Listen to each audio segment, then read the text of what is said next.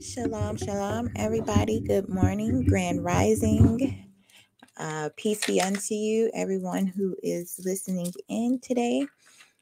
Uh, it's your sister Chaya back with another uh, story time session, continuing from yesterday. Um, the Great Cosmic Mother. We are currently in the chapter The Mother of Wild Animals and the Dance. And I'm going to jump right in. Share my screen.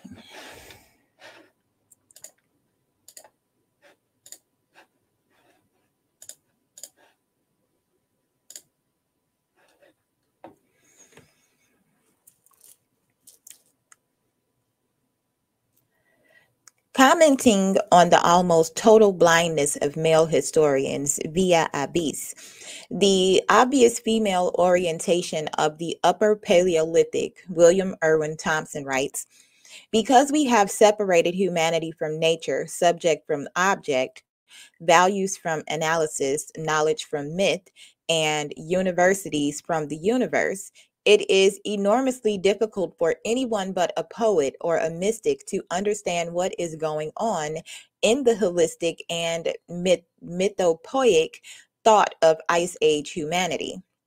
The very language we use to discuss the past speaks of tools, hunters, and men, when every statue and painting we discover cries out to us that this Ice Age humanity was a culture of art, the love of animals and women. Gathering is, an, is as important as hunting, but only hunting is discussed. Storytelling is discussed, but the storyteller is a hunter rather than an old priestess of the moon. Initiation is imagined, but the initiate is not the young girl in menarche about to be wed to the moon, but a young man about to become a great hunter. What the historians leave blank, our imaginations can fill in with bright pictures like those covering the sacred cave walls. We know that women's religious rites were never separable from a totality of art, magic, and social and physical realities. The matrifocal group organized its power into a religious and cultural human expression through the medium of art. Art was the tool of the connection, the manifest vision, expressing experience of a single life giving principle conserved in the changeless other world of the deep caves where there is perpetual darkness and times become spatial, resonant, and static. In such a standing silence as within a giant living skull, the dream images make themselves known.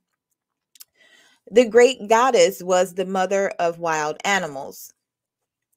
The inner recesses and womb walls of the caverns were alive with magic pictures of her breast.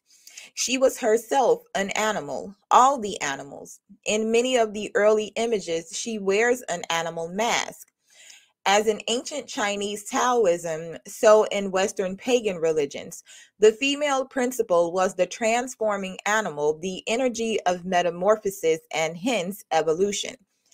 The brilliant rush of European animal imagery from Cro Magnon through Celtic, Nordic, and Teutonic art and incorporated into medieval bestiaries and illuminated manuscripts expressed this primal dynamic vision of evolutionary energy as a surge of spirit into multitudinous forms. The goddess kept her various animal shapes for many thousands of years, among them the doe, the owl, the hare, the vulture, the pig, the cow, the wild mare, the lioness, the crow, the crane, the salmon, the jackal, the hermaphroditic snail, the serpent, the wren, the butterfly, and the chrysalis, the spider. Early human attitude toward animals was totemistic. Totem means related through the mother. The blood clan's solidarity was identified with some specific plant or animal. Through the totem, the life of the human group and the ongoing life of nature were made inseparable. This is the meaning of sacrament. the absorption by humans of the non human or cosmic flow of forms. The secret spirit lives in and through the multitude of plant and animal forms which the goddess can assume at will. This means that any tree or beast, bird or fish or insect is symbolically potentially her and must be related to with magic and respect. Individual members of a species die, but the group form remains, is permanent, is one of the Great Mother's ideal forms. This is the primal conception of reincarnation. Later European pagans believed in individual soul reincarnation through many forms, animal and human and demonic, as the mechanism of biological as well as spiritual evolution. The animism of primal peoples has been called childish. In fact, it is a profound ex- experiential perception of the evolutionary relation between all life forms as manifestations of the original one the first cell from which all life multiplied, the original cosmic egg. When human survival depends on such a sensitive rapport with the environment, as it always has and always will, such a conception is not infantile but crucial. Human survival does indeed depend on a sacramental relation to nature. Now that this relation has been betrayed and destroyed, we know how important it is and is a sacramental bond between our earliest human ancestors and the natural world was the primary factor in our evolution. Not simply as a physical species, but as conscious beings. For this bonding set up a resonance in which all art, all religious ritual, all magic, alchemic science, all spiritual striving for illumination was born as primal people have always experienced it, when you look and listen to nature, something happens. Something always speaks. Animism is still a valid relationship. If modern man neither sees nor hears, the fault is in his head, sensorium. In primitive belief, no animal can be killed against its wish. When a member of a species is struck down, the one is wounded. Therefore, the hunter must fast and pray to the animal spirit before the hunt, not simply to ask its pardon, but to gain its assent to being killed. The hunted animal is seen to give itself to the hunter as human food, while its spirit returns to the group form. Because men did all the large game hunting and felt themselves to be tracking and slaying brother and sister animals, magic children like themselves of Mother Earth, we know they felt guilt and sought its resolution. After the spilling of blood, one must restore harmony with the dead animal and with the mother of animals as its soul persists through the multiplicity of lives and deaths. Cave paintings from the Upper Paleolithic show stick figure male hunters or entranced shamans, alongside beautifully rendered bison and other game animals. The hunter's or shaman's spear may be shown juxtaposed with the vulvas of female animals. They were seeing the animal's wound as a magic vulva of the goddess, and trying to establish a union or symbolic resolution within the violence of killing. As penis to vulva, which bleeds and heals itself, so spear to wound. Rock carvings and paintings found in North Africa, identical in theme to the European cave paintings, make this analogy between penis and arrow, goddess's vulva and animal womb with circular lines returning the energy in a vulva to vulva cycle. In all these Stone Age depictions of the hunt, there is not one image of aggressive or bloodthirsty hunters engaged in wanton slaughter. There are only images of prayerful petition and worshipful observation. As Thompson points out, these Paleolithic paintings of vulvas as magic wounds that heal themselves or give birth to new life continue as symbolic images through Western religious history. Medieval paintings show Christ exposing his womb from which blood and water flowed during the crucifixion, as from a uterus in childbirth. The labial wound in the side of Christ is an expression that the male shaman, to have magical power, must take on the power of woman. The magical labial wound is the seal of the resurrection and an expression of the myth of eternal recurrence. From Christ to the Fisher King of the Grail legends, the man suffering from a magical wound is no ordinary man. He is the man who has transcended the duality of sexuality, the man with a vulva, the shamanistic androgyny. These pagan meanings were kept alive, not in Orthodox Christianity, certainly, but in the Gnostic tradition, which recognized magic bisexuality, the alchemical androgyny. The, necess- the necessity of the male to experience his female womb. The Grail legend has been traced back to the Neolithic Near Eastern goddess religion, but in fact, it goes back much further to the sacred Cro Magnon caves, and the Stone Age hunters attempt to resolve bloodletting guilt symbolically and ecstatically through a fusion of his sex spirit with the magic vulva wound of the mother goddess. Ritual cannibalism began with the same symbolic desire, not solely to propitiate, but to participate in the magic life death rebirth process. A among primal people, the totemic animal is sometimes eaten as a sacrament by the group, or it is totally avoided as a group taboo. Either way, human hunger, killing, and eating are felt as unbalancing acts which must be reharmonized through sacramental rites. Ritual cannibalism doubtless began with sharing eating, eating of the totem animal, a taking in of the animal's life force by the group. To participate in its death, in its lifeblood, is to partake of its eternal rebirth in the mother. Where it occurred in the world, ritual cannibalism, like hunting, was predominantly or exclusively a male activity.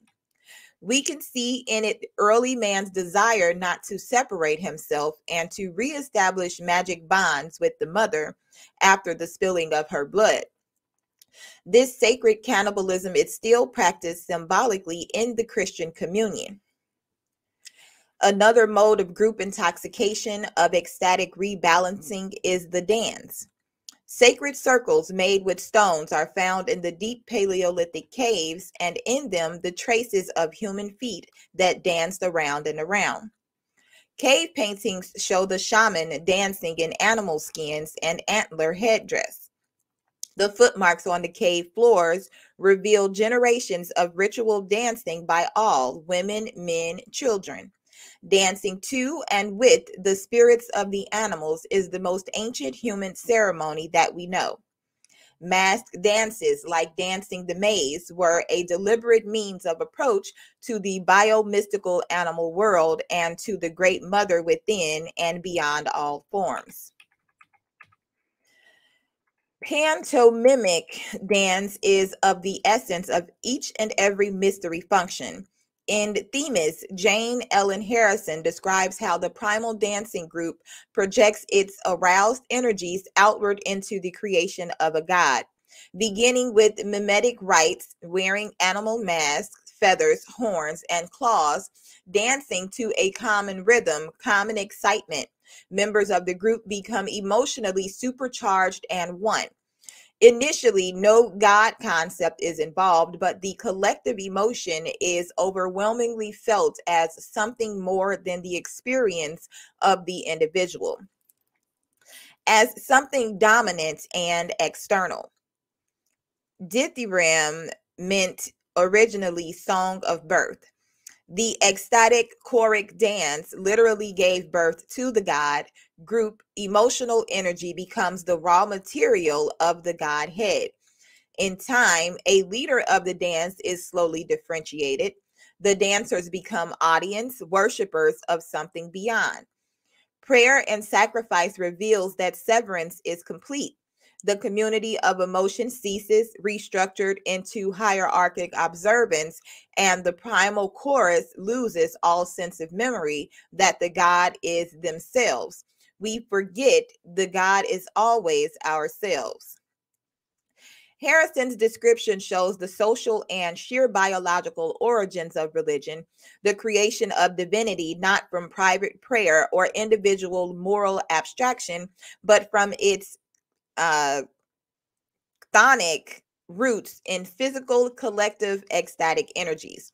Like many early 20th century students of ancient mythology, however, Harrison's thought reveals a Freudian influence, a belief the creation of quote unquote God is only a one way process. Like Freud, Harrison sourced human cultural expression, art, dance, religion in quote unquote unsatisfied desire, and seemed to agree that all experience of the sacred was reducible to psychological quote unquote projection. Witness the analytic urge to demystify the mystery. The Freudian school knew no quantum physics or energies beyond the human, but there are other dimensions than the spatially, temporally tangible, even though the linear mind is not structured to perceive them. Spiritual or magical experience is an impingement of these other dimensions, other force fields into our ordinary rational reality. A dancing group can project its entrenched emotion into Godhead. Through a trance and rhythmic opening of psychic channels, it can also introject the Godhead or quote unquote pulling down transhuman powers. Both directions of this process can really occur simultaneously. The group generates and renews the power. The power generates and renews the group. The spiraling process gives birth in both directions. Later priestly ideas that the quote unquote gods demand constant human supplication, obeisance, and abasement are wrong and exploitive. But they derive from this genuine primordial perception of an energy exchange between humans and transhuman powers, a vibratory field communication that must go both ways for the connection to work. Chimpanzees do rain dances for no logical reason other than to reconnect their animal energies with the transhuman energies of rain, thunder, and lightning, the original chemical dance of life. And the ap- apocryphal Jesus says, the whole on high hath part in our dancing. Who danceth not knoweth not what cometh to pass.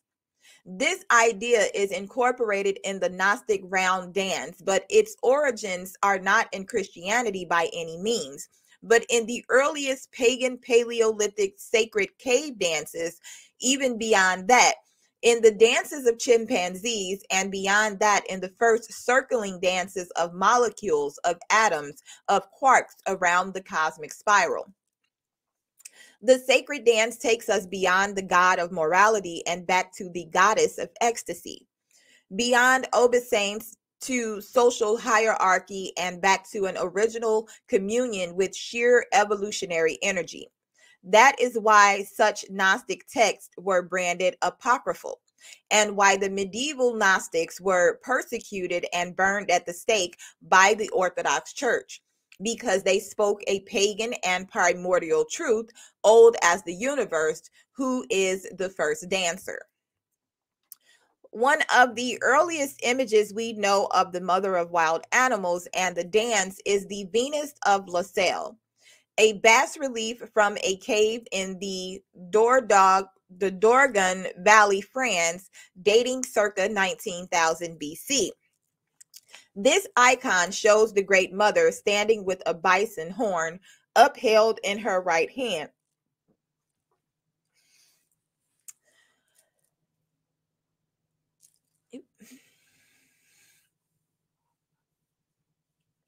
Okay, the horn is a lunar crescent, and the relief is painted with red ochre, the magic color of menstruation and birth. Such a figure presided over the masked shamanic dances and the circle dances of communion with all animals, all life in which blood, woman, moon, bison, horn, birth, magic, the cycle of life are analogized in a continuous resonance or harmony of sacred energies this Laussel great mother holding the lunar horn became the virgin and the unicorn, one horn of medieval legend. The marvelous tapestries of the Middle Ages, all woven by women, frequently tell the story of the unicorn who may be touched and tamed only by a chaste virgin. As Thompson notes, the unicorn is a lunar symbol of the ancient religion of Europe, the Great Mother religion, and the ritual drama of the macho hunter chasing and slaying this magic beast represents a trance memory of the shift from the moon worshiping matrifocal European pagan society, slaying this magic. I'm sorry, the European pagan society to the patriarchal sun worship of the Roman Empire and the Christian church. Such traces of the Paleolithic hunt goddess and her magic relation to all the beasts can be found throughout European folklore, art, alchemy, witchcraft, and other heresies. They can also be found throughout the world Asia, Africa, the Americas.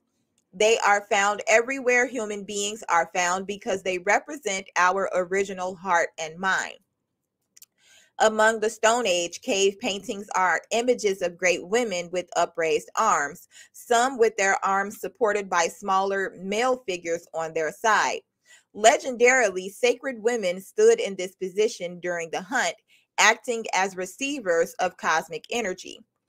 Among the African Stone Age cliff paintings found by Mary Leakey in central Tanzania, the hunt dancers are almost always women who move their bodies in the shapes and gestures of the animals. Among the Kalahari Bushmen today, a shaman woman performs a special invocation dance on the dawn of the hunt day, invoking the protective dawn star or Venus, who is called the hunter and communing with the spirits of the animals who will voluntarily die to feed humans.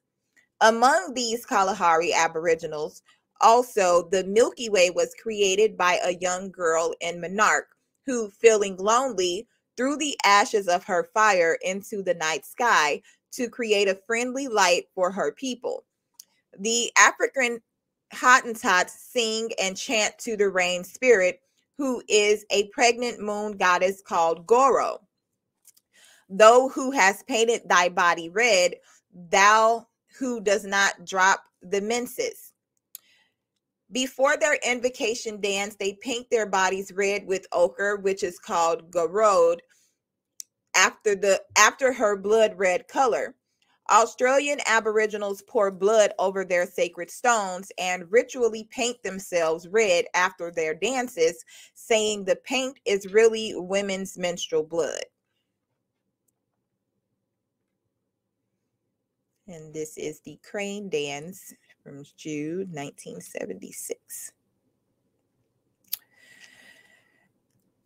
When we think of the 21,000 year old Venus of Laussel, stained with red ochre and holding up the hunter's lunar crescent horn in the sacred cave, we know what all these same rites, images, and analogies mean and where they come from. They come from our original selves as children of the Great Mother, as sisters and brothers of all her magic animals. The rites, icons, and dances conceive the earth as the body of the mother and try to restore the harmony lost when she is wounded.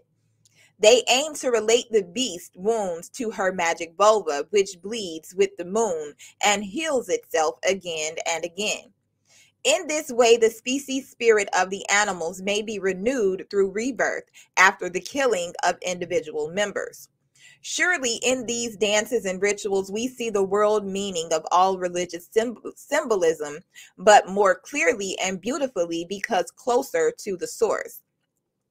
Western history does not show us any evolution toward greater spirit, greater meaning, greater culture. The Western Roman Christian contribution to the world, when we look at it, has been almost entirely in the area of technology and of analytical intellect combined with a notorious spiritual and cultural alienation and perhaps the lonely the loneliest individuals the planet has ever seen what there still is of spirit, of poetry, of coherent meaning, of symbolic truth in the world did not come from us. It was there at the beginning among our Stone Age ancestors. Their vision, their cosmology, their intuitive truth, and sacred analogies run like bright red threads through the tapestry of Western history. Whatever is still alive and vibrating in patriarchal religions, especially Christianity, when traced to its source, is found to be one of those bloody living fibers retained or stolen from the original Paleolithic cosmology. Woven by these Ice Age people out of their primal pagan experience of the Great Mother and her magic world. What has followed them in the mythic, religious, spiritual, and psychic realms, at least, has been no great advance, but a, a devolution a corruption, a narrowing and hardening, an at- atrophy of vision and heart. Our Stone Age ancestors would have no trouble understanding the words of Smohalla, a Nez Perce, who sang the primal truth to the white man's world of 19th century business and re- resource development oriented America. My young men shall never work. Men who work cannot dream, and wisdom comes in dreams. You ask me to plow the ground. Shall I take a knife and tear my mother's breast? Then will I die. She will not take me to her bosom to rest. You ask me to dig for stone. Shall I dig under her skin for bones? Then when I die, I, I cannot enter her body and be born again. You ask me to cut grass and make hay and sell it and be rich like the white man. But how can I cut off my mother's hair? It is bad law, and my people cannot obey it. I want my people to stay with me here. All the dead humans will come to life again. We must wait here in the house of our ancestors and be ready to meet in the body of our mother. Women's culture and religion in Neolithic times. The Triple Goddess, 1973.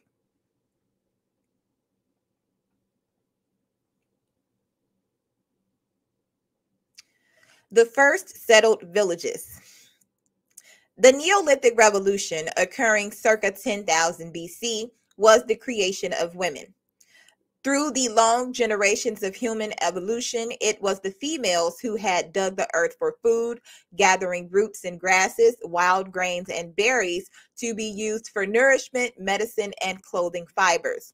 Women were the skilled observers of plant nature, passing on from generation to generation their knowledge of food, medical, toxic, and mind changing properties of the wild plants, fungi, and herbs in their environment.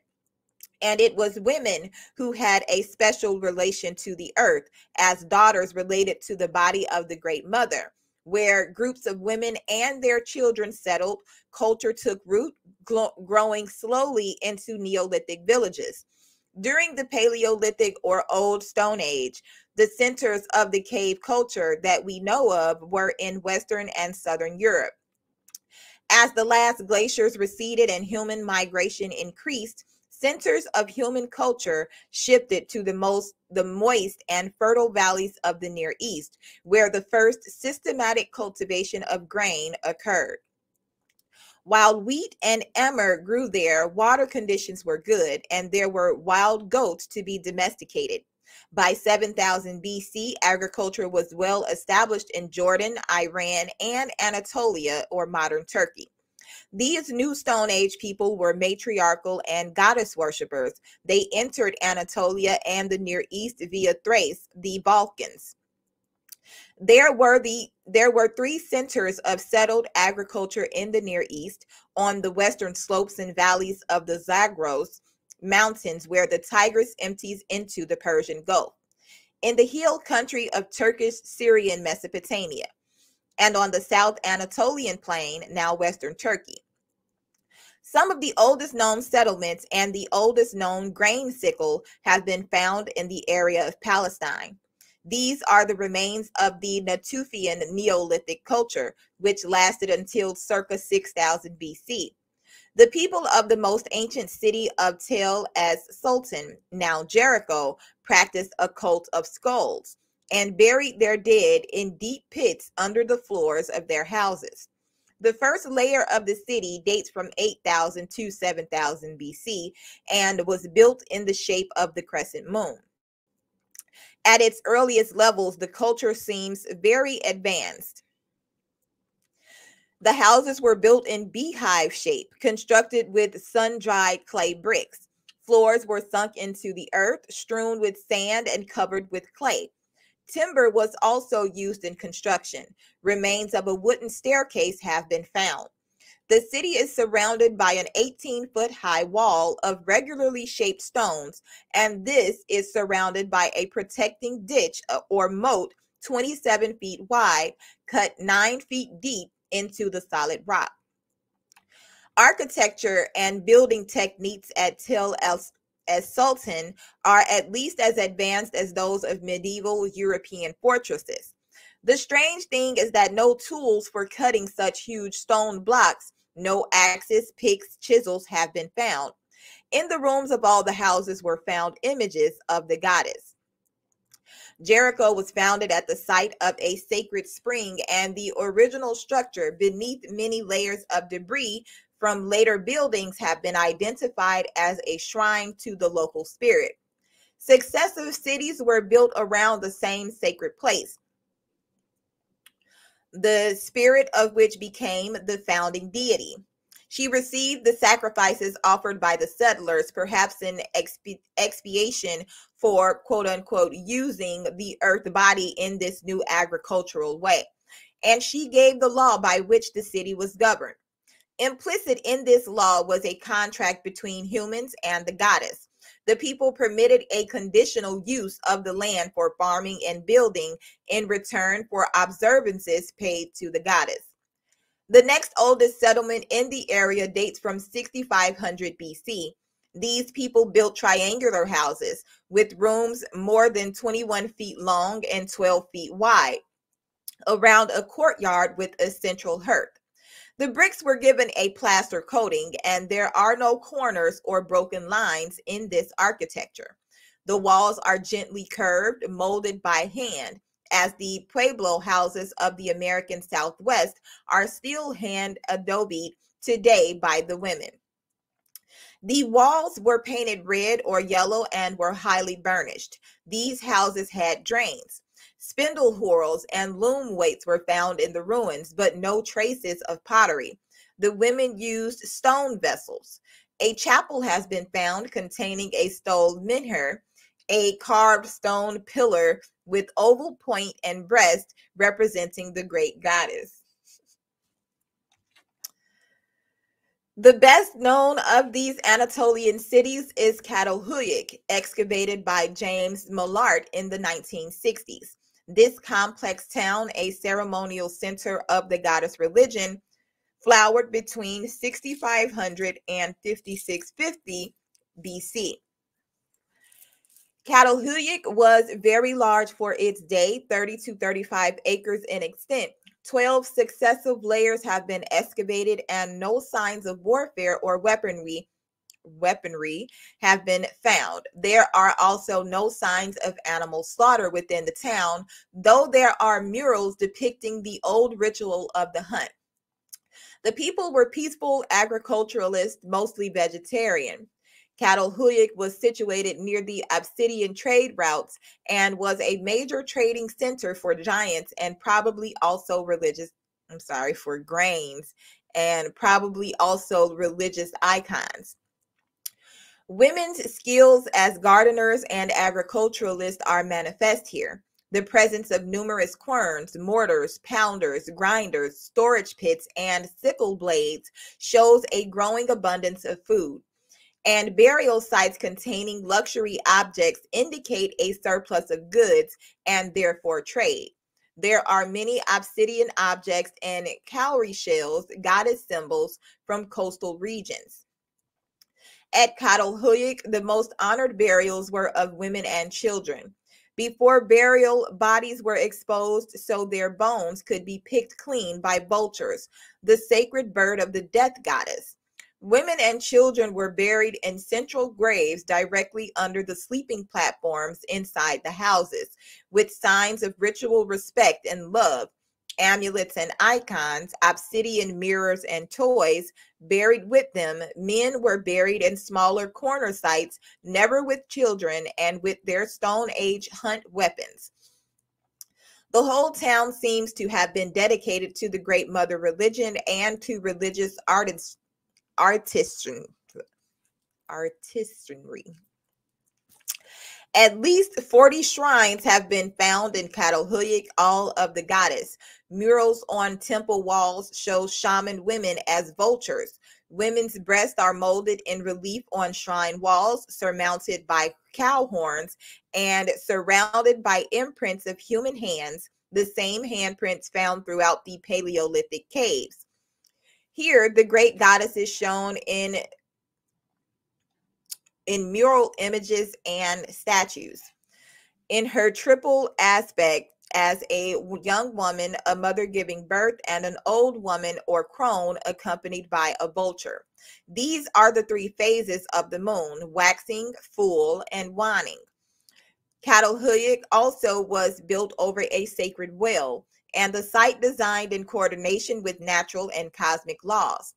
The lines and centers of the Earth's energies and the positions of the stars. To build at a place was to share the life of that place. It was an organic and spiritual location. Earliest agriculture must have grown up around the shrines of the Great Mother, which were social and trade centers as well as holy places. The priestesses of the goddess were also administrators, scribes, and traders. The goddess of the Neolithic became the teacher of planting, harvesting, and storage methods, as well as healer and dispenser of curative herbs, roots, and plants. Erich Fromm, in The Anatomy of Human Destructiveness, speculates on the meaning of this culture. The fact that among hundreds of skeletons covering at least 800 years of continuous culture, not one shows signs of violent death. The fact that women seemed to outnumber men and are buried with greater honor, the fact that the religion of Catalhoyuk, administered by priestesses, stressed the renewing and protecting powers of the Great Mother, he writes. The data that speak in favor of the view that Neolithic society was relatively egalitarian without hierarchy, exploitation, or marked aggression are suggested. The fact, however, that these Neolithic villages in Anatolia had a matriarchal or matricentric structure adds a great deal more evidence to the hypothesis that Neolithic society, at least in Anatolia, was an essentially unaggressive and peaceful society. The reason for this lies in the spirit of affirmation of life and a lack of destructiveness, which J.J. Bachofen believed was an essential trait of all matriarchal societies.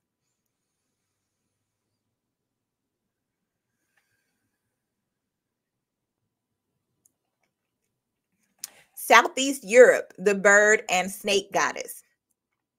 The goddess religion was carried into the Near East by descendants of the European Old Stone Age.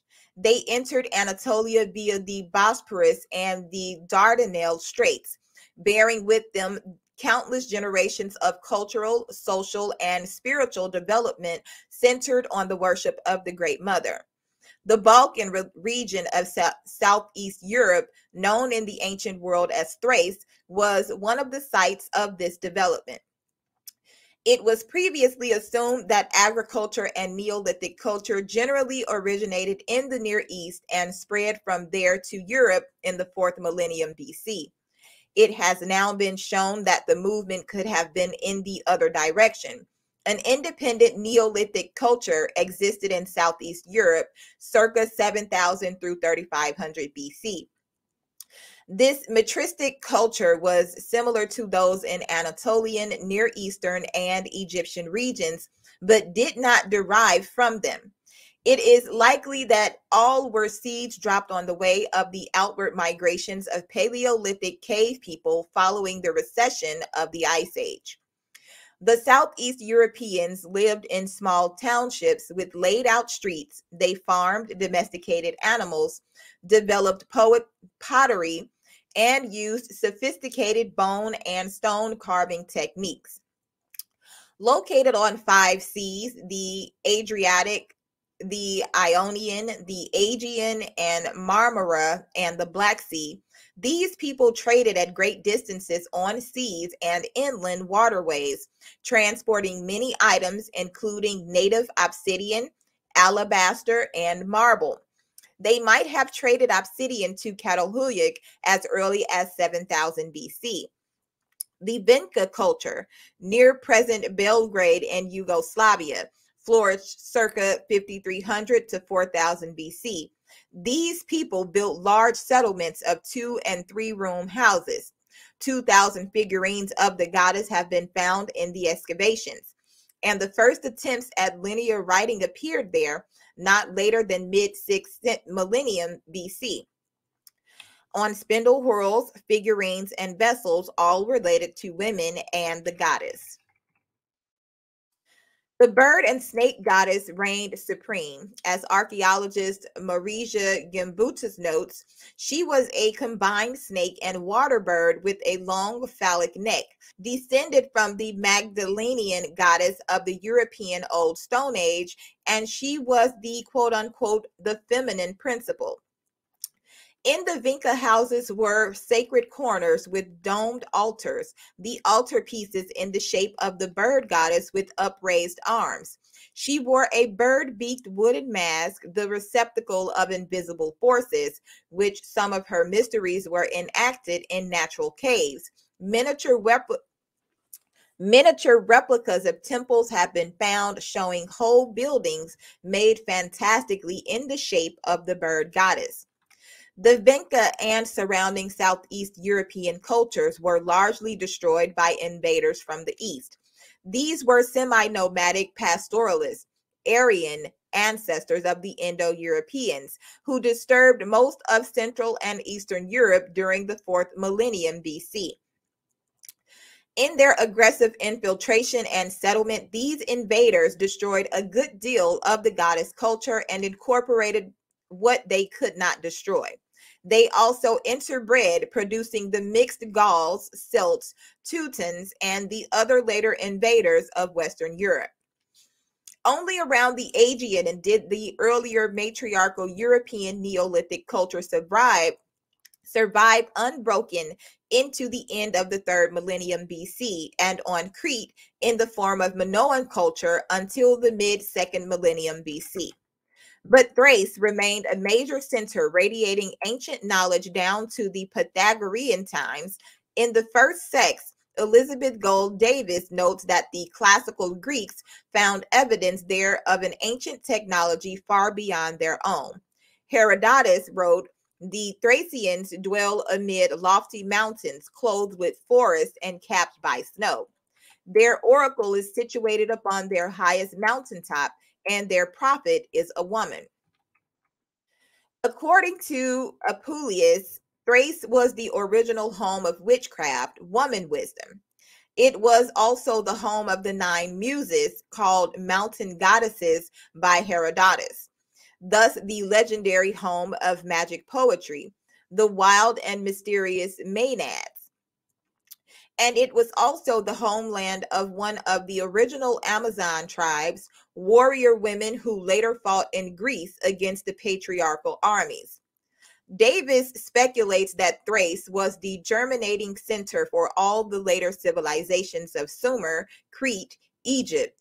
This may or may not be so. At least it was a strong link between original European goddess cultures and the matriarchal centers of the Neolithic Natufians, Catalhuyuk, Hacilar, and other Anatolian and Near Eastern sites. In Thrace, the goddess was worshipped as the moon. Diana, Selene, and the nine muses or mountain goddesses were her nine magical aspects. The Maenads were her oracular priestess shamans, custodians of her primal wisdom, and legendary teachers of the later Celtic Druids who worshipped Cerridwen, mountain goddess of inspiration. Orpheus, the mythic poet shaman, came from Thrace. Davis thinks he was murdered by the Maenads for revealing their ritual secrets. Thracian Maenad teaching on the immortality of the soul and the theory of reincarnation influenced Pythagoras as late as 5th century BC. Some years back, there was an exhibition on Thracian treasures at the British Museum in London.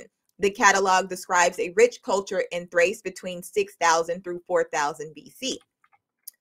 This culture belonged to an unknown and mysterious people. Scholars cannot explain it. Walls were made with lath and plaster. Local pottery, gracefully made from its begin its very beginnings, was often brightly colored and richly ornamented. In Thrace, as in Asia Minor, it is images of the mother goddess which predominate in the idols made of clay and bone. About 2800 BC, far reaching changes took place throughout the Bronze Age changes which contributed to the disappearance of all graces of this culture and were strongly connected with centralized rule.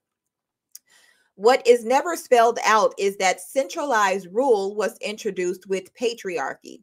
Culture declined for hundreds of years, etc., etc., during which the ancient magical science was destroyed and forgotten, and patriarchal rapine ruled. Everywhere in the exhibit where images of the goddess appeared, and there were plenty dated from 4000 BC and earlier, she is called an idol or fertility figurine. There was a pottery model of a circular shrine enclosing three huge images of the goddess with arms upraised. There were many goblets and vases decorated with heads of warrior women. Yet the catalog does not once speculate on the meaning of these objects. Instead, one is giving given plenty of information about patriarchal Thrace in later times. Men had many wives. The women did all the work both at home and in the fields. The men considered it shameful to till the land, and their noblest occupation was to go to war and to be tattooed. So is our her story taken from us by male archaeologists and historians posing as objective researchers. The megalithic tomb, the moon and the stone. Most high Neolithic cultures in the Near East developed gradually from village settlements into city centers around 5000 to 4000 BC, Perhaps this was the golden age in this part of the world, a time of peaceful and creative life in the Jordan Valley, kept alive in later myths and legends. And perhaps the same peaceful, settled existence was ongoing at the time at the same time in other parts of the East, in India, in Africa, and Western Europe. From diggings, we know that the dead were no longer buried deep under the house floors nor entombed in oven shaped chambers cut in the rock of caves. Now they were given more monumental habitations in the form of rock chambers or stone structures built on the ground, covered with artificial earth mounds. These are the megalithic tombs or dolmens. The dolmen itself, a chamber formed of great upright stones roofed with a top stone, was seen as having great healing powers. Stones shaped by water, wind, the earth were believed to be the habitation of the goddess. In some stone chambers, the portal stone was carved out to resemble the birth canal. The dead, still buried in fetal position, were placed in the womb of the Great Mother, awaiting rebirth. Still later, women, being the farmers, gardeners, and keepers of the grain, buried their dead in great egg shaped pithoi or clay storage urns under the ground. Always a connection was made between the miraculous growth of the plant from a seed buried in the earth and the dead body, planted also in the earth with the hope of regeneration through her womb powers. The women drew on their daily practical experiences as agriculturalists to create elaborate new myths of cyclic birth, death, and resurrection. With the spread of settled agriculture, this new culture and its religious symbols blossomed everywhere. The Middle East, India, through Europe and into Scandinavia, Britain, and Spain, the Mediterranean islands, North and West Africa. The ancient primordial symbols remain, but in a in a much more elaborate and permanent form. The great cosmic mountain mother, who was the mother of wild animals, who was the dark ocean and the night and day sky, begets the silver egg or fruit of her night sky, the moon. She is both moon and earth, and the ancient bird and snake goddess of water and air begets a daughter, the pregnant earth goddess of vegetation, the green child. Both mother and daughter are linked with the moon. The massive great mother of the old Stone Age begins to share her powers with a new goddess, the strong young daughter of agricultural skills, ruled by the moon. The moon, as daughter of the great mother, is known as the triple goddess. She presides over all acts of generation, whether physical, intellectual, or spiritual. Her triple aspect expresses the three phases of the moon waxing or growth, full, rebirth, and waning, periodic death. She is, as the new or waxing moon, the white goddess of birth and growth. She is, as the full moon, the red goddess of love and battle. She is as the old or waning moon, the black goddess of death and divination. These are the three phases of a woman's life, all natural and all magical. Biological phases are also spiritual phases. Transience and immortality are different aspects of the same goddess. The moon, as the daughter fruit of the great mother's sky, expresses the essential unity and perpetual change of her cosmos. Moon and sun are the eyes of the Heavenly Mother, the all seeing one. We still talk of heavenly bodies and of stars looking down on us, and we still experience the universe as a larger symbolic body, as macrocosm to microcosm, or as mythic mother to daughter. The three cyclic phases of the ever turning moon should remind us that our minds are not primordial, primordially dualistic but structured to flow through changes, always conscious of the one, while experiencing the whole range of diverse psychic manifestations.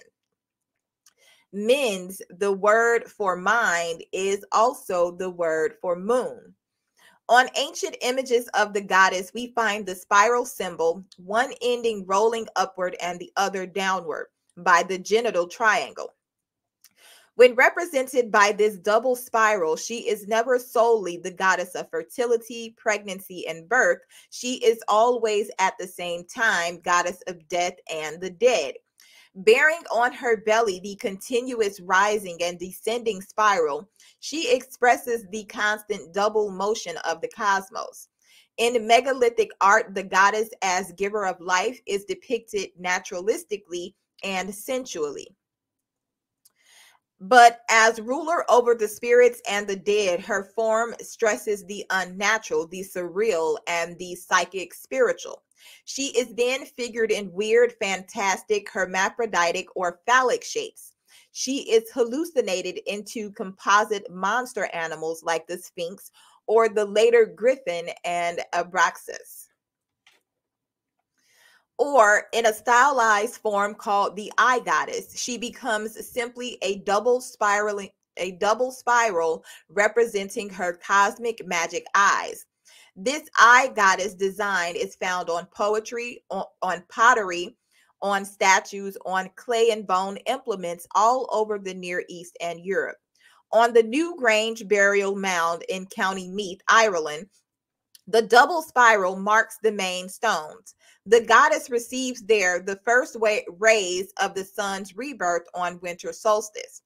And the same design appears on stones on Malta, Crete, and in Scandinavia, and inside burial chambers through France and Brittany. The eye spirals are often mistakenly called cup and ring marks and assumed by male archaeologists to be quote unquote sun wheels. Carved in grim relief inside burial mounds in Brittany, the eye goddess stares forward, seeing death and life equally. The funerary mode mood is expressed in the stylized abstraction of her gaze, reducing complex existence to the stark essentials of seeing and the invisible. Nature is both growth and decay, and life cannot be without death. Such is the unblinking vision of the eye goddess. Stone in Neolithic times, as in the Paleolithic, remains the powerful abode of the great goddess. Stone of all earth forms is immortal and unchanging, symbol of permanence. As the bones of the earth, the pelvic walls of caverns, it gives off a profound vibration of resonance, both subhuman and supernatural. All primitive people carry wishbones and healing stones, talismans painted with magic symbols. Animals as well as humans seem drawn to tall, standing menhirs or stone pillars. Sick livestock rub against them in the countryside, and it is timeless folk custom to touch menhirs in order to become fertile or to be cured of illness. Legends often refer to stone circles, like in Brittany and Cornwall in Ireland and England, as nine maidens or merry maidens. Nine is the magic number of the moon and the Thracian muses. To explain these circles, it is said that nine naughty young women were turned into stone by the avenging Christian God for dancing on his Sabbath. It has been suggested that a specific number of women or girls dancing in a circle at certain speeds and all singing or humming the appropriate note, young women having high piping voices, might set up a vibratory resonance in the stone circle, subjecting each stone to a burst of sound energy as each woman passed it and this energy traveling from stone to stone. The ultrasound in the voices or music would act on the crystal structure of the stone. It has recently been found that the quartz content of such stones is an electrically active crystal, and that certain standing stones associated with the stone circles generate ultrasound when stimulated by the elements in the electromagnetic spectrum radiated by the sun at dawn. In England, geologists and ley line hunters, why hunter, why not seeker? Are working together in the Dragon Project, physically monitoring and measuring radiation and energies emanating from standing stones and stone circles. At different times of the day, at different times of day and night, lunar and solar risings and settings, and at different seasons. In Neolithic times, the moon and the stone symbols were combined in one characteristic shape, the horned altar. Anything shaped like a crescent moon was considered, by analogy, to belong to the triple goddess. Thus, where horses' hooves struck crescent marks on the earth, the moon ran and the wild mare belonged to her.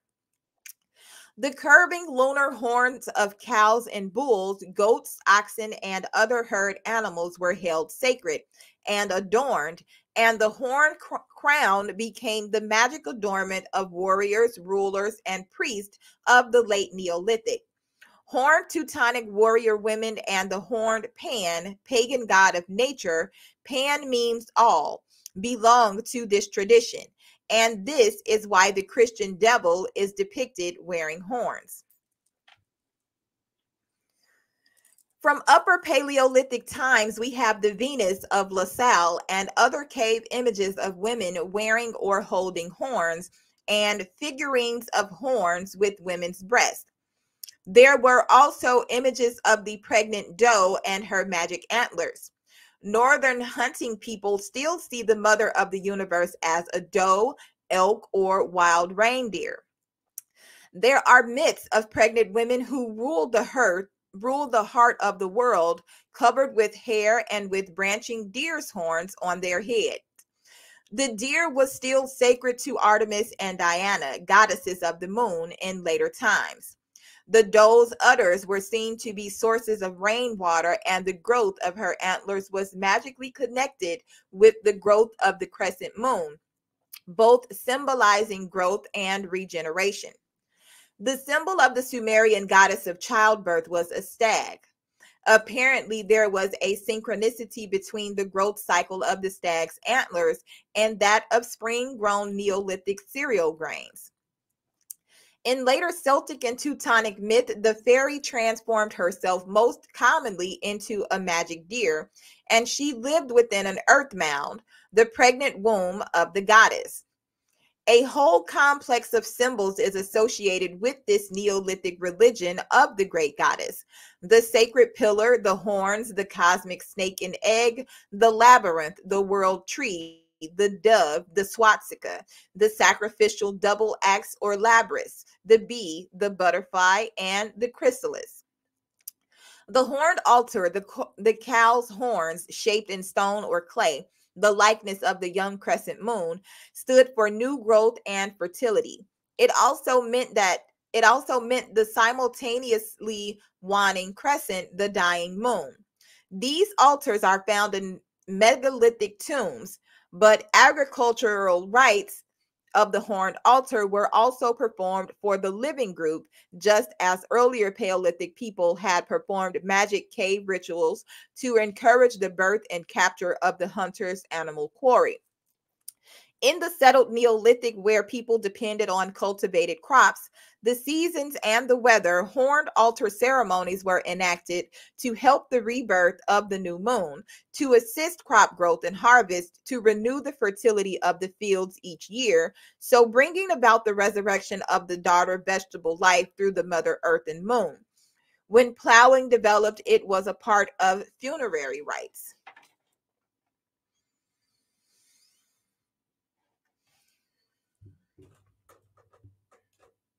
The sacred pillar, along with the horned altars, were sacred stone objects standing in the open country, along roads, and in the village. Also descended from the old Stone Age, they were phallic pillars with the Great Mother carved on them. Stone pillars with breasts are found throughout the Near East. As Gimbutas suggested, these ancient phallic mother stones symbolized shamanic bisexuality and the unity of the sexes a Neolithic ideal stressed in ritual and imagery. The cosmic snake and egg derived from the original goddess cosmology and continue to represent wisdom, immortality, continuity within change, and the magic germ, or steel heart center within the whirling negative positive spiral field of cosmic energy. The labyrinth also continues the earlier Paleolithic rituals of the underground cave, the initiation maze dance through life and death. Serpent and maze designs are common symbols on Neolithic pottery worldwide, and in urban times, they were incorporated in floor mosaics. In Neolithic Western Europe and in Neolithic North America, giant burial mounds were built in the shape of serpents with spirals engraved on their stones. The world tree is another worldwide symbol found everywhere among Neolithic agricultural people. The world tree also existed among earlier Stone Age hunting and gathering cultures. Shamans in trance climbed the world tree, which is the human spine and the spine of the world, to receive illumination. The Neolithic world tree appears in a garden abundant with fruits and grains. It reflects the agricultural concerns of settled people when the energy bonds between human society and the cycles of vegetable life were stressed and also coming under human control. The world tree incorporates serpentine and lunar symbolism, shedding bark and leaves like skin or light, being reborn in the spring, growing rhythmically with the monthly moon phases. At least 2,000 years before the Hebrew patriarchs wrote of the Garden of Eden, the Neolithic great goddess had her magic garden of immortality. Clay seals and figurines from Sumer and Crete show her sitting in the garden, in her garden the branches of the world tree, overspreading bundles of fruits and grains, a crescent moon over her shoulder, and somewhere twined around the tree trunk or stretched on the ground at her feet, the cosmic serpent. In some fertilizing rivers, meander, meander lines pour in from the four directions. Such images of peaceful abundance are the apotheosis of the Neolithic. The dove is often pictured there too, perched in the world tree as the symbol of the great mothers, all giving love, as the vulture meant all taking death. Doves continued through Roman times to be the companions of the love goddess Venus, as well as biblical symbols of peace.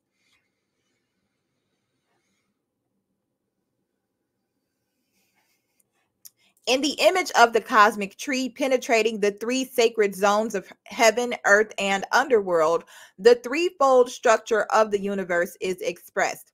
Also, the threefold structure of the human brain, the original reptilian brain stem, surrounded by the mammalian cerebrum and all enveloped by the human neocortex. The reptile brain is the secret dream underground.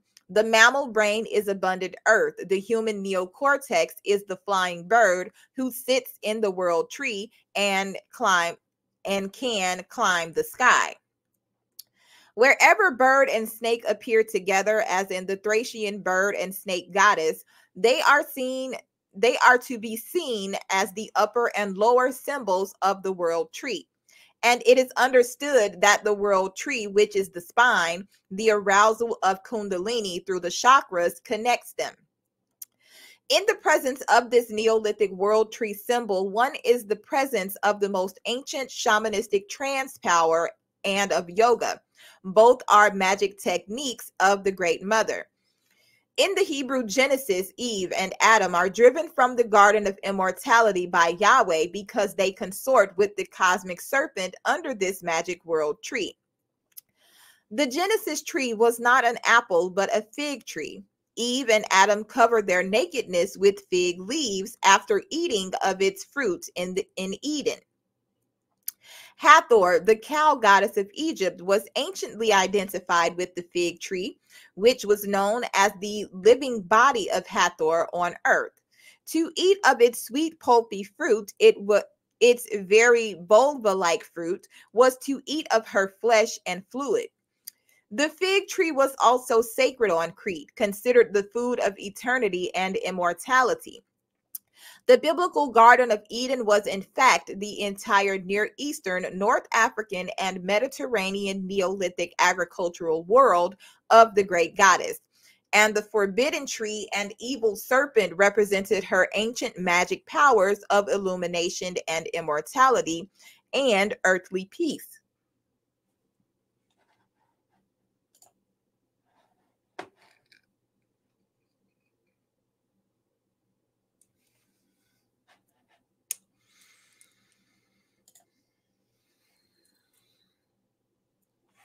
The swastika is one of the most ancient abstract symbols. It is found scratched on Siberian clay figures of wild geese on the underside of their wings from the earliest Neolithic excavations.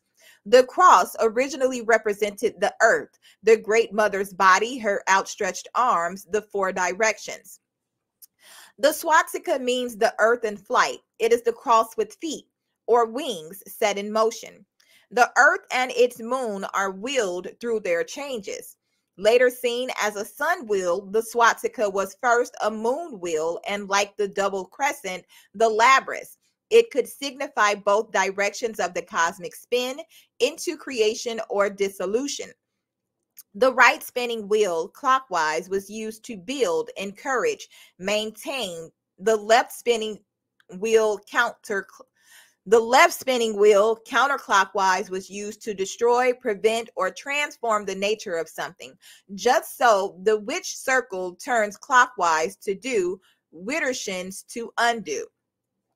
The swastika can be found worldwide from old relics dug up in Iran to the pottery decorations of present day Zuni Indians in the American Southwest. Typically as on a 7th century BC terracotta amphora from Boeotia and other statues and pots from the Aegean, the swastika was associated with the Lady of the Beast, the new Stone Age version of the Paleolithic mother of wild animals. It is one of the magic signs of the foot on the Buddha. Taken over by patriarchy, the swastika has meant only destruction. Hitler read it as an Aryan fire, fire sign, an Aryan fire sign. The double axe or labrys was the instrument used by women in ceremony, agricultural work, and battle. It is an axe with two heads, the two moon crescents, waxing and waning. A practical version was used by women in daily agricultural work. In the form of the battle axe, it was used by Amazonian warriors of North Africa, Thrace and Macedonia, and the Caucasus. As a sacred sacrificial axe, it could be used only by priestesses who alone could cut down the goddess's ceremonial trees. Our word labyrinth comes from the Minoan labrys. It refers to the hall of double axis or labyrinth dug up by archaeologists at the Palace of Knossos on Crete. Crete was the great matriarchal culture center of the Mediterranean. Its murals and mosaics, pottery designs, seals, and amulets show the labyrinth wielded only by women, and it appears extensively as an icon symbol of the great goddess. The bee was always a sign of the goddess. Honey was the only sweetener of the ancient world, and its maker, the honeybee, is both industrious and magical. Only the female bees build hives and make honey, and they communicate with each other via dance language. Bees appear in the spring at the rebirth of grasses and flowers. The goddess was also pictured as chrysalis and butterfly who emerges from its self spun tomb, quote unquote, totally transformed as the bird once emerged from the reptile and as the new soul, quote unquote, emerges from ritual death on wings of illumination. The butterfly is, like the cowrie shell, a vulva symbol. According to Marija Gimbutas, the butterfly winged goddess merged with the double axe image during the Bronze Age the megalithic tomb was the body of the great mother. It was her temple where religious rites were performed at night by the light of her moon. The stoned menhirs were designated as females, colossal upright blocks, some 10 feet high and often grouped in threes. They embodied the triple goddess of birth, death, and rebirth and were associated throughout the Neolithic with vast circles marked out by stones which were ritual enclosures and sacred dance grounds. These stone circles or the traces of them are found worldwide. The rites enacted in the menhir circles represented the spiritual understanding of the Neolithic people, their wish for union with the goddess and for immortality through her. The ceremonies were presided over by women shaman priestesses whose spheres were vision, sacrifice, poetic, and magic lore, the ritual calendar and the law, and astronomical astrological observation. The later Druids inherited much of their knowledge, lore, and ritual. These priestesses were also healers, rainmakers, midwives, and keepers of Soma, the sacred mind expanding drink. Beehive tombs with passage entranceways have been found from Greece to Ireland, dating from the close of 3000 BC. All have huge circular enclosures, amphitheaters for funerary games. Their entrances are ornamented with eight double spirals, the circle that has no end, the point that breathes itself into a universe and back again. On Crete, cult shrines enclosing small stone pillars or clay pillars molded around tree trunks were set up to ceremonialize the dead and the magic tomb. The Egyptian pyramids were an elaborate culmination of the megalithic tomb guarded by the giant Sphinx, who is the goddess guardian of the dead. The earth mound as cosmic womb of the pregnant goddess. Silbury Hill, situated on the Wiltshire Downs in southwest England, is the largest surviving image of the goddess from Neolithic Europe. It is 520 feet in diameter and 130 feet high, and it is over 4,500 years old. For hundreds of years, male archaeologists have been excavating the mound, desperately hoping to find within it the Bronze Age burial remains of an ancient Essex king. But as Michael Dames points out in Silbury Treasure, the great goddess rediscovered, Neolithic culture was based on kinship, not kingship. In Dames's view, the Silbury Mound expresses a vision of cosmic unity long lost to patriarchy. Silbury Hill was the primordial belly, the omphalos or navel of the world. The sacred mountain emerged from the waters of chaos. The world egg born from the primordial sea of night. It is the throne who is the squatting goddess, the white mountain, the navel of waters. The Indo-European he the Indo-European root for heel, kel, also meant a concealed or sacred place. Germanic haljo and was probably related to halig, meaning holy. The mountain was always a generator of energy, inspiring the high state of madness and prophecy, giving oracular powers. It is the world axis where the different levels of psychic or physical experience interpenetrate the threshold between underworld, earth, and sky from which all creation emerges. From the mountain, the shaman begins her or his ecstatic journey. In Britain, there are 1,500 hilltops with large enclosures on their summits, encircled by earthen banks. These earthworks look like coiled serpents and were used as ritual mazes. According to Michael Dames, Silbury Hill contains a vegetable core surrounded by layers of chalk, gravel, soil, and clay. Radiating from this core are spokes of twisted string looking like umbilical cords or snakes. This central axis is surrounded by sarsen stones, which are covered with earth dug, earth dug from the surrounding quarry, originally filled with water. The surface of the mother's body was water, and she contained within herself earth, water, air, and fire, or sunlight reflected in the moat. The heel and its ditch, a convex heel and concave hole, create together the image of the goddess squatting in the Neolithic birth position, tranquil and stable, ready to give birth to the world. The Neolithic farming communities had a non-linear sense of time, believing that time began anew with each new year. The pregnant mountain mother gave birth in August when the seeds, spring planted in her womb, had grown large.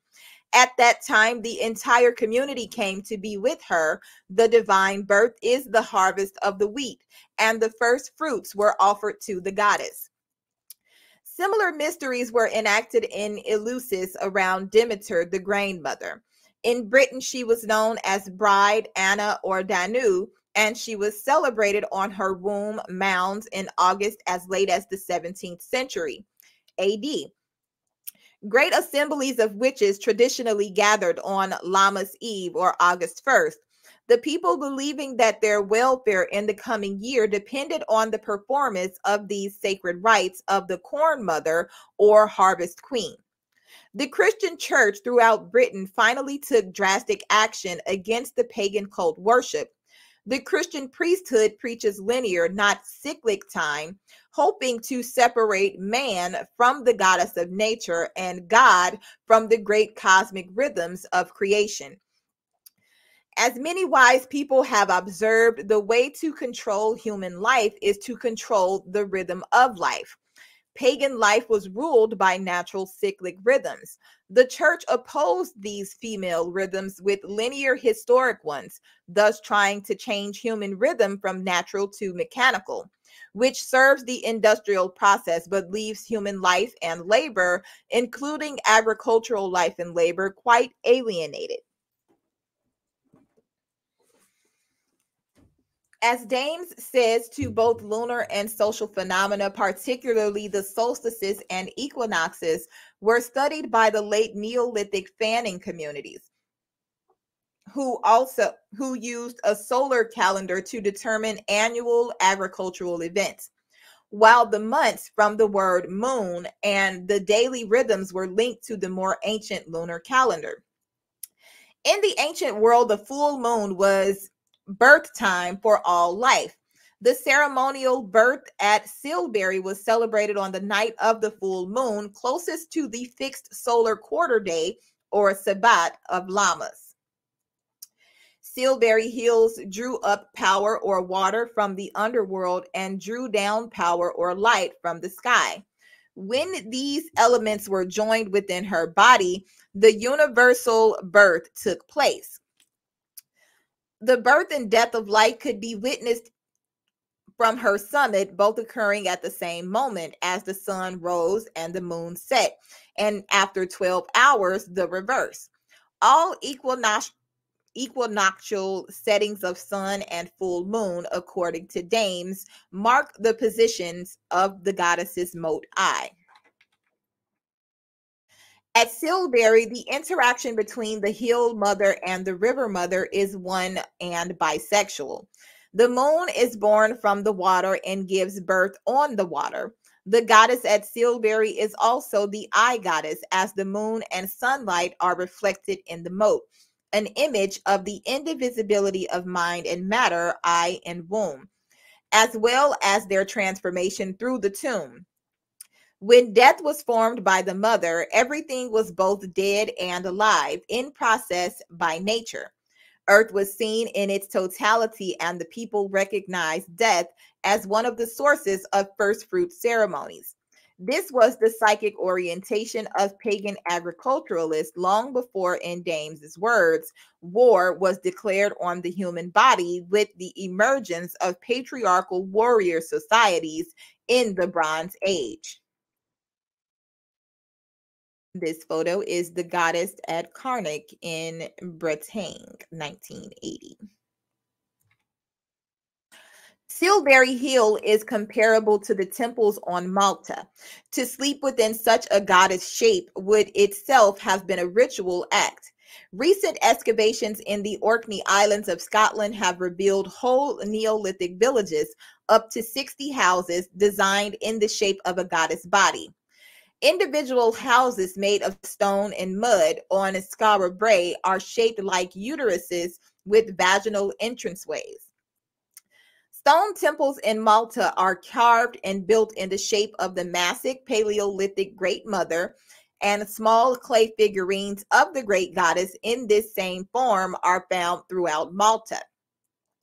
The West Kennet Long Barrow in England is built in the same identical shape. The large Medamud temple in Egypt and the Bryn Celyn mound in Wales are the same body the great earth mound belly open thighs of stone, the entrance portal open for the passage of birth and death. Worldwide, architecture was the mother of arts, as women built to live within her body shape. Dogon villages in Africa are constructed in the shape of a bisexual human figure lying on its back. The village represents the first vibration of the cosmic egg. It is built in the center of fields cut in spirals. At the southern end is a cone shaped shrine, the penis. A hallowed stone nearby on which the fruit is pressed for oil is the vagina. Menstrual huts to the east and west sides of the village are hands. Both sexes carry out the agricultural work of these bisexual villages. Primal people understand quite clearly that the shape of one's dwellings is the shape of one's life. Mm, interesting. The white goddess of pagan Britain was the mother of the good and fertile soil of the shocklands, white as the full moon. All her creation, including stones and men, animated. Her body permeated all the, la- the later Avebury monuments on the Wiltshire Downs. This area is rich in sarsen stones, massive blocks of hard sandstone which lay on the surface of the hills and didn't need to be quarried. These stones were called bride stones. Bride or Bridget was one of the goddess's names. The white horse, a large turf cut figure on the hillside of Uffington in Berkshire, is an evocation of Epona, the Celtic horse goddess. Dragon Hill nearby was a Neolithic first fruits ceremonial site. Folklore tells that the white sterile patch on its summit was caused by the execution of the life giving dragon goddess at the hands of a patriarchal solar hero. Where her blood fell, nothing will grow. One such dragon slayer or serpent killing hero is Saint Michael. Many of the earliest Christian churches in Britain dedicated to St. Michael were built precisely on the ancient mounds and high places of the great goddess. In Christian lore, St. Michael was the head chief of a band of angels, read, read, quote unquote, patriarchal invaders that went to war with the mother dragon and her people. In folklore, Saint Michael is thought to be the successor of Wotan, the Anglo Saxon god who was a warlike slayer of dragons. In fact, an abnormal number of Christian churches dedicated to St. Michael and St. George, the other British dragon slayer, are built on high places along the ley line or dragon path that runs from Land's End in Cornwall through the goddess monuments at Glastonbury and Avebury in southwest England. Such a St. Michael's church was built on the summit of Glastonbury Tor but in the year 1300 AD, it was destroyed by an earthquake. As Elizabeth G. Davis notes, all the Christian male angels were originally the great goddess with her wings. When the image of the winged goddess continued to be engraved on Roman coins in defiance of the new Christian hierarchy in Constantinople, who had smashed or taken over all her Roman temples, the church fathers just changed her name to the angel of the Lord, Archangel, Archangel Michael. Glastonbury Tor is a spiral mound with a processional way, along with a along which a dance was performed by the community, circling around and up to the top. Glastonbury means glass castle. Glass castles in Welsh, Irish, and Manx legend were island shrines or star prisons ruled by the white moon goddess of poetry and ritual death. In medieval legend, they were made of glass. In Neolithic times, they were goddess mounds of birth and death. Original rites at Glastonbury were aimed at restoring the bird and flower life of spring, perhaps.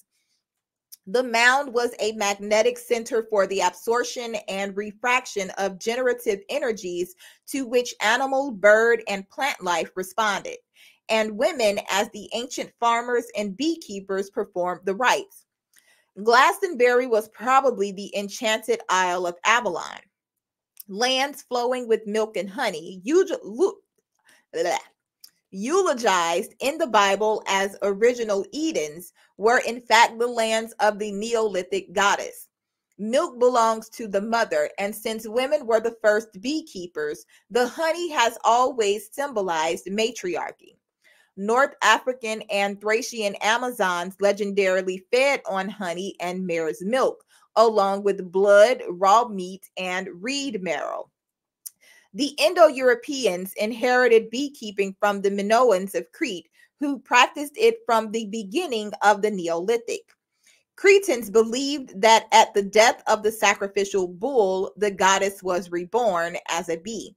Thus, the bull born goddess of transformation and regeneration. Both bee and bull belonged to the moon.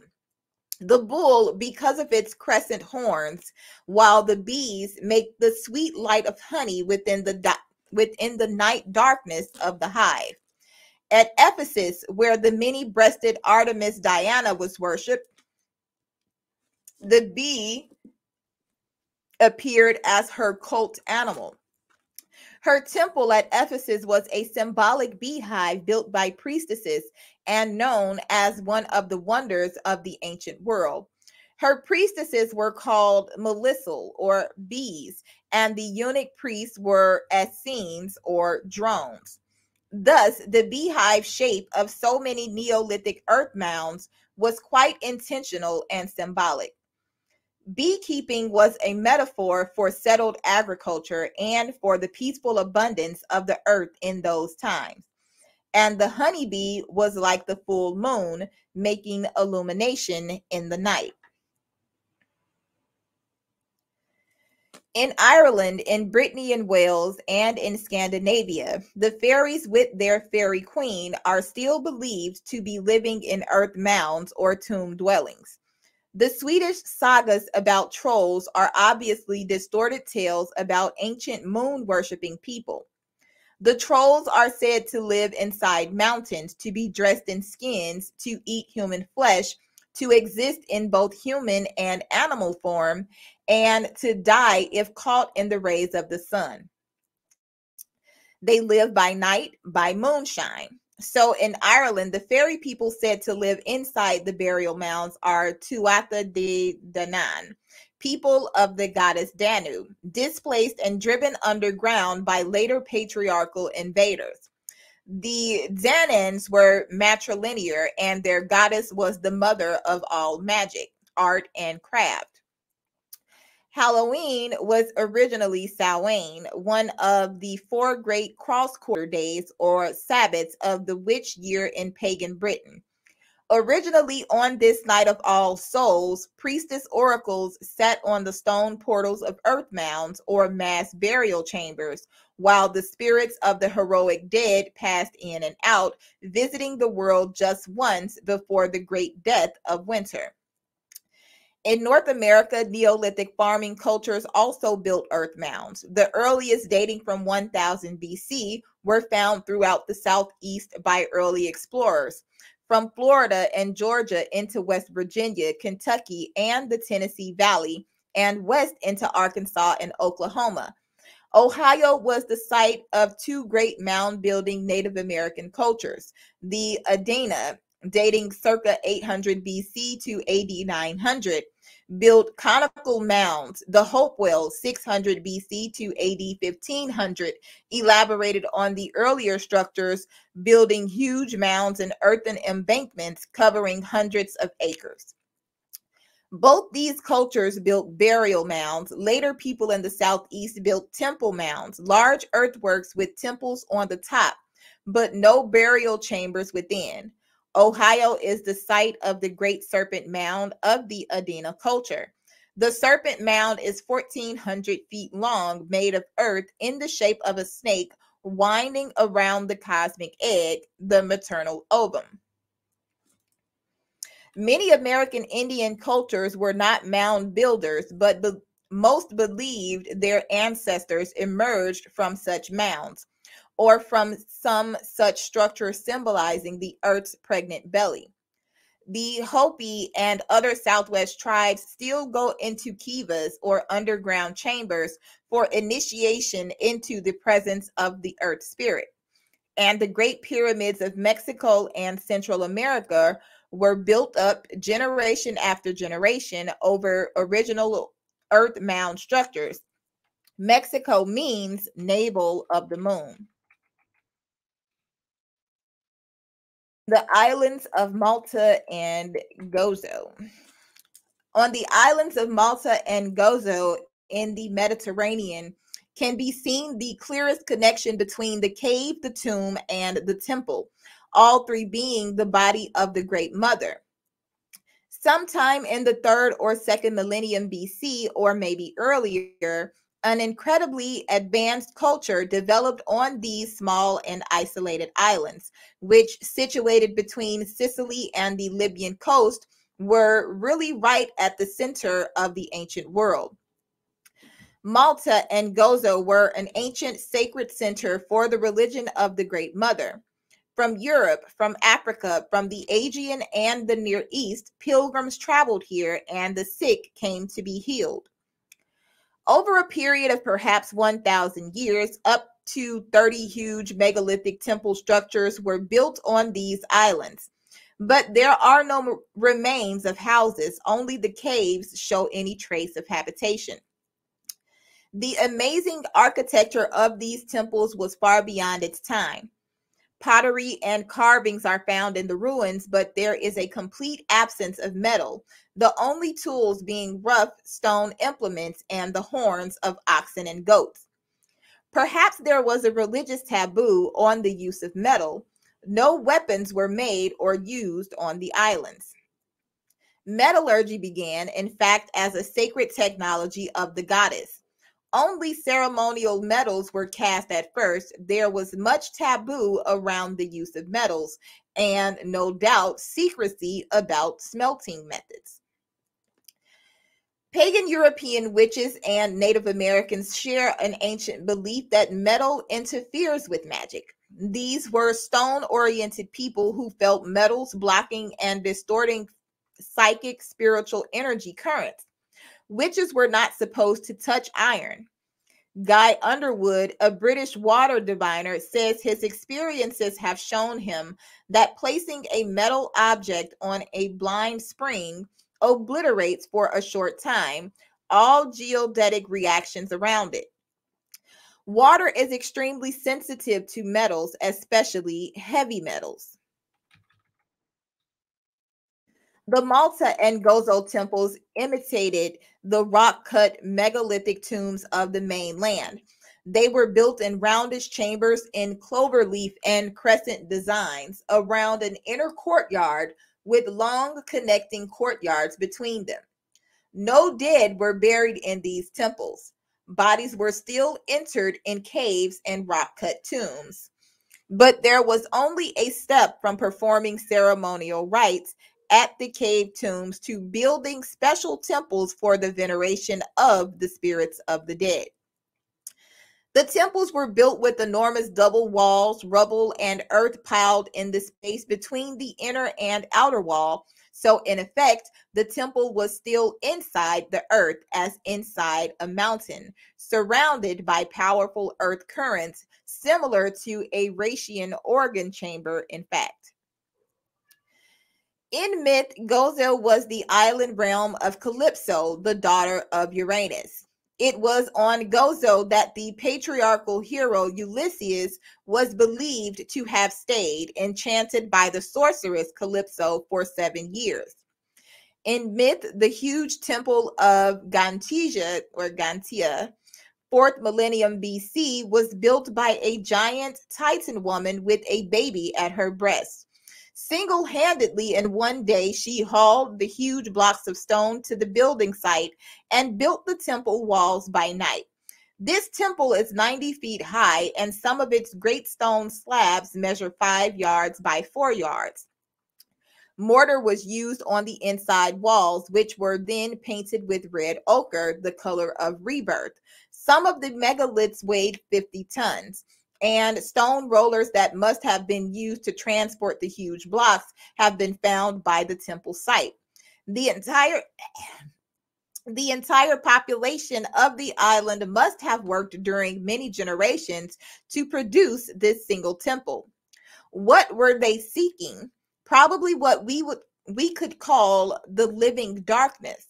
The stillness of the tomb, the breathing silence of the womb of the of the earth mother. The chambers, painted blood red, had no sharp angles. All the shapes are rounded or molded in curves and waves. There was no worship of the heavens in these temples and no human sacrifice. There are traces only of animal sacrifice and the pouring of libations. Here, the living and the dead were as close as possible to each other. Shaman priestess sleeping within New Grange, listening to the voices of the underworld. Jude 1981. But the strangest thing is that the temple on the surface of the earth was only the entrance to a still vaster shrine beneath. Legends tell of a huge labyrinth, catacomb, or rock necropolis built under the temple, a quote unquote city of the dead, in which the whole island population ultimately resided. In fact, an enormous labyrinthine cave sanctuary has been found, the collective burial tomb of 7,000 bodies. This mass tomb was built in several stories out of the subterranean rock. At its entrance is a trilithon is a trilithon gateway giving access to the underground city, the abode of the quote unquote the perfect ones. Long valued corridors or bloodstained with red ochre led to a sacred deep temple area with its altar, pillars, gateway, and spiral designs painted in red on the roof. It mirrored or echoed the temple built above ground. This was the center of something, as Malta and Gozo are indeed at the geographic center of the Neolithic great goddess culture, stretching from Africa to Scandinavia, from Sumeria to Spain, or to the sunken continent of Atlantis, as some believe. In this sacred space, priestesses of the great goddess contacted the spirits of the dead, consulted oracles, prophesied, and performed ritual healing. In the temple are huge squatting images of the goddess. These are the same bulging, rounded shape as the temple. In later images, she wears a flounced skirt with small figures hiding in it for protection.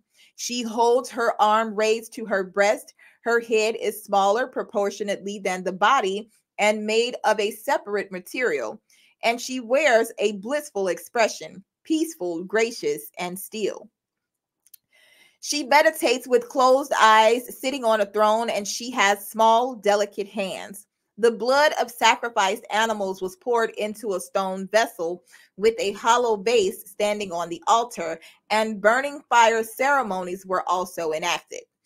These secret chambers of the Great Mother, where timeless mysteries were performed, are guarded by her eyes, the cosmic symbol of the double spiral, inscribed on the sealing stone. Plant, flower, and animal motifs are carved in relief on the walls and altars, and they show strong Cretan influence, evidence of much contact between these islands. The temples were also healing centers. The sick came to sleep in the huge stone chambers. Priestesses in clairvoyant sleep listened to the voices of the underworld. Divination and also acoustic conjuring were practices were practiced. The priestesses' moldings seeming the voice of earth itself. People came on pilgrimage to sleep in the temple to have dream communion with the powers of the underworld and the dead, to obtain counsel, wisdom, healing, and clairvoyant knowledge of the future. The temples contain two small figurines of sleeping women sleeping to dream, to die, to wait for birth and rebirth. They echo the huge pregnant shape of her who was both impersonal and kind, both familiar and terrible. The earth embodying cosmic strength, mystery, abundance, paradox we don't know anything about the people who built these island temples. They were weaponless and so defenseless against warlike pirates who overran them using metal weapons. These conquerors probably came by way of Sicily, bringing a culture much inferior to that of Malta. They still practiced some form of goddess worship, but they burned their dead, showing that they were in transition from matriarchal to patriarchal orientation, since the Sky Father worshiping nomads from the east also practiced cremation. They sent the body spirit up to the sky rather than returning it to the earth womb. It is quite possible that Malta and Gozo were schools for priestesses. Such island schools are common in legend. Ancient Celtic myth tells of sacred islands inhabited and ruled by women where the mysteries were kept and taught. According to Irish texts, the Tuatha De Dan came from such an island in the north where they had learned science, magic, art, and ancient wisdom from priestesses of the goddess Danu. Druids were buried in ceremonial groves on distant islands. According to the Roman Pomp- Pomponius Mela, facing the Celtic coast lie a group of islands which take the collective name of Cassiterides. Sena off the Breton coast was renowned for its Gallic oracle, whose priestesses, sacred for their everlasting virginity, were said to be nine in number.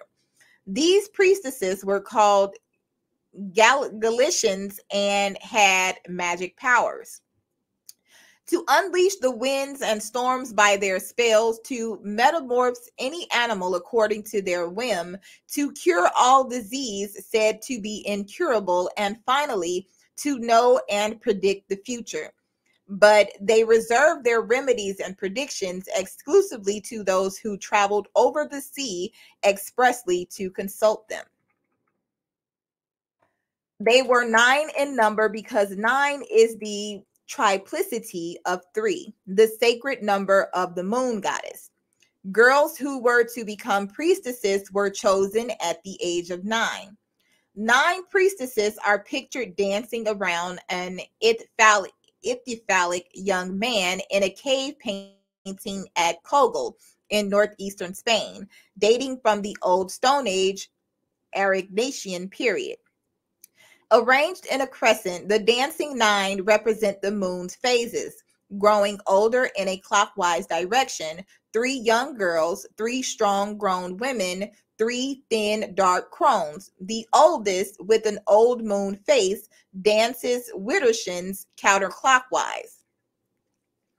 This painting could be 30,000 years old, so primordial is witchcraft. On the sec- on the sacred island of Avalon, Apple Island, Morgan Le Fay, the quote unquote fairy, ruled over nine sisters and taught how plants can be used to cure illness. She knew the art of changing her outward form and could fly through the air with the aid of magic feathers. She was one of many renowned shamans practicing ancient women's wisdom on an enchanted island. The temples of Malta and Gozo reveal that such legends were based on reality, as legends usually are. All that remains of the Maltese island people are their resident stone temples, but their religious ideas and rites were similar to those surviving in the mystery cults of classical Greece, such survivals show that early Christianity's belief in the body's immortality grew from very deep and ancient pre Indo European patriarch pre patriarchal roots. Delphi was another oracular shrine tomb. Located on the Greek mainland, it was ruled over by a spiraling python serpent and a prophetic priestess who served Gaia, the earth death mother. The python was housed in the Omphalos or navel shrine, the navel of the earth, built underground in beehive shape, originally perhaps deriving from the African masabo or ghost house. The name Delphi comes from Delphine, the great snake of the mother. The goddess's most ancient name at Malta had been Delphine, since she was part serpent and the name comes from an ancient word, Delphis, meaning womb, and is now the brand name of a contraceptive foam. Apollo, the patriarchal sun god of classic Greece, was a mythological latecomer to the oracular shrine at Delphi, though now he is always associated with it. Apollo began as an underground oracular hero, in fact, and his name means apple man. In classic myth, he could not rule at Delphi until he had slain the sacred python with his arrows or phallic sunbeams, as Zeus had also killed the dragon offspring of the earth goddess at Dodona.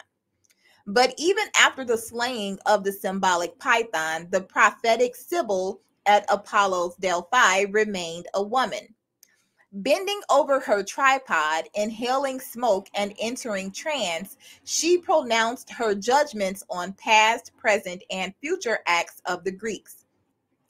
But Apollo, as harbinger of patriarchal sun god technology, increased the production demand on the oracle beyond her endurance and human capacity, driving her mad. As John Michell has noted, the same policy of artificially inducing and mechanically increasing the Earth's fertility attempting to mass produce Earth's fruits for profit rather than accepting what is given organically by nature can be found wherever the solar gods assumed management over the ancient shrines of the goddess. Blood was used in the Delph- Delphic shrine to feed the ghosts and make them return, to speak and prophesy through the Sibyl. The Sibyl drank the blood, producing in herself prophetic ecstasy. Sounds of peepings and mutterings and eerie bat like voices speaking through her were believed to be the voices of ghosts. This was the function of ancient human and animal sacrifice. The recently dead were more easily recalled from the other world and not so potentially dangerous as those long dead. Through these dead confidants, the priestess gained knowledge of healing and the future. The bull, with its lunar horns, was associated with the underground rituals. Bull's blood was believed to be the most potent magic, and diluted with water, it was used to fertilize the fields and orchards of Crete and Greece. Drunk straight, it was considered a deadly poison to anyone but the Sibyl or priestess of the goddess.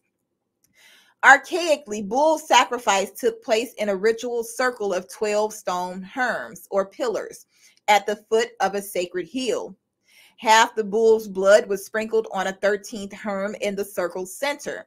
The rest was poured into a large basin from which the priestess drank. The Celts also used bull's blood for the divination. Irish poets had to drink bull's blood and then lie down to dream in order to tell the truth.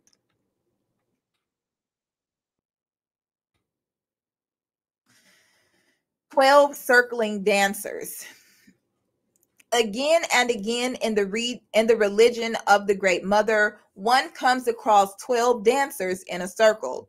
Even the passion that I revealed to the to thee and the others in the round dance, I would have it called a mystery. These are supposedly the original words of Christ leading the 12 apostles in a hymn to the biblical Father. And the following comes from the Gnostic round dance taken from the apocryphal Acts of St. John. And we all circled round him or her and responded to him or her, Amen. The 12th of the numbers paces the round aloft. Amen. To each and all it is it is given to dance. Amen. Both the dance and the number 12 are taken from the original goddess religion, the old religion, as witches and pagans would say. Everything alive in Christianity, especially in heresies, is taken from the old religion. Within the witches' covens, there are 12 members and a high priestess. Women and men in alternating positions dance around the magic circle that has been drawn on the ground or floor and blessed by the high priestess. The witches take their sacrament and jump over the holy fire to stimulate the life giving energies of the moon. The witches or Wiccan wise ones practice an ancient women's religion, the Dianic cult, whose rites and beliefs were passed down directly from the earliest Paleo- Paleolithic and Neolithic religions. It has apparently been determined that the secret language used now in the covens is Neolithic Basque. Very interesting since Basque is believed to be a remnant of the language used in Atlantis. During the Christian the Christian Inquisition and witch hunts, which went on for over five centuries, the Wiccan chose hideous torture and death at the stake rather than forego their ancient ways inherited from the beginnings of things. They believed that the fertility of the countryside and the health of the people, quote unquote, pagan means quote unquote peasant, depended upon the performance of their sacred rites. They also knew they were involved with the ir- irreducible truth, the unimprovable original.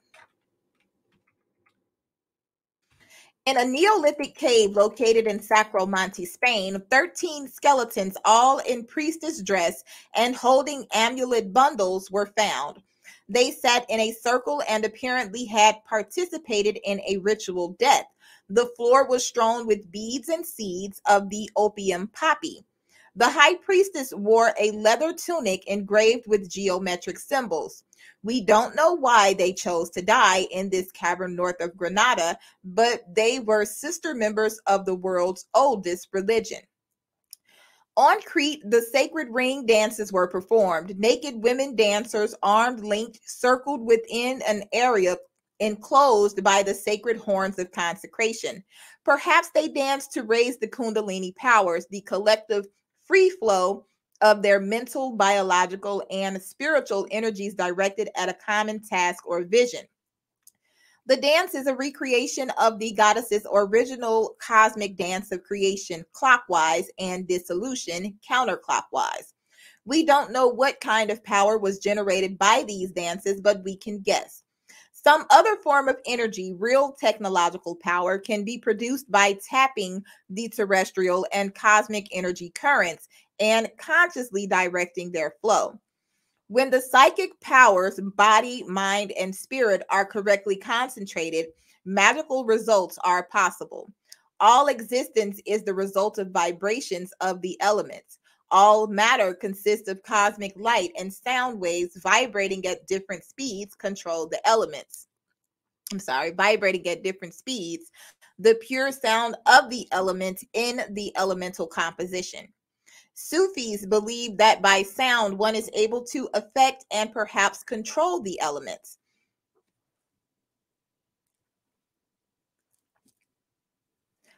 All matter consists of cosmic light and sound wave. I'm sorry. Elizabeth Gould Davis suggests that the ancient women shamans were able to control by group sound the elemental vibrations with very practical results. Indeed, legends from the Near East, Europe, and Britain tell of great stones being raised, huge megalithic structures built by magic use of sound alone. In one legend, large stones are set floating in the air by women playing sacred pipes. Rocking stones, poised in such a way that they moved at a touch, perfectly balanced, were used for divination and magic.